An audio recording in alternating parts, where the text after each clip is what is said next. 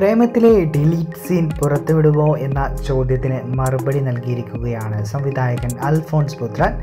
സിനിമയിലെ deleted scene താൻ delete ചെയ്തുവെന്നും അത് കഥാപാത്രങ്ങൾക്ക് അനുയോജ്യമായിരുന്നില്ലെന്നും സംവിധായകൻ പറഞ്ഞു. പ്രേമം ഡിലീറ്റഡ് സീൻ പുറത്തുവിടുമോ എന്ന ആരാധകന്റെ സോഷ്യൽ മീഡിയയിലെ കമന്റിന് മറുപടി നൽകുകയായിരുന്നു സംവിധായകൻ. ഗോൾഡ് സിനിമയെക്കുറിച്ചും അദ്ദേഹം പറയുന്നുണ്ട്. അൽഫോൺസ് പുത്രന്റെ വാക്കുകളിലേക്ക് ഞാനത് ഡിലീറ്റ് ചെയ്തു. ഞാൻ എഴുതിയ ജോർജ് എന്ന കഥാപാത്രത്തോട് ആ രംഗങ്ങൾ ഒന്നും യോജിക്കുന്നതല്ല. തിരക്കഥയിൽ ജോർജ് അനുയോജ്യമല്ലെങ്കിൽ മലരും അനുയോജ്യമല്ല. അതിനാൽ ഇതെന്നോട് ഇനി ചോദിക്കരുത്. കാരണം ഞാൻ തിരക്കഥയെ ബഹുമാനിക്കുന്നു. പിന്നെ നിങ്ങൾ കണ്ട ഗോൾഡ് എന്റെ ഗോൾഡല്ല. കോവിഡ് സമയത്ത് ലിസ്റ്റിൻ സ്റ്റീഫന്റെയും സംരംഭത്തിലേക്ക് എന്റെ ലോഗോ ചേർത്തതാണ്. കൈതപ്രം സർ എഴുതി വിജയ് യേശുദാസും ശ്വേതാ മോഹനും പാടിയ പാട്ട് എനിക്ക് ഷൂട്ട് ചെയ്യാൻ ആയില്ല.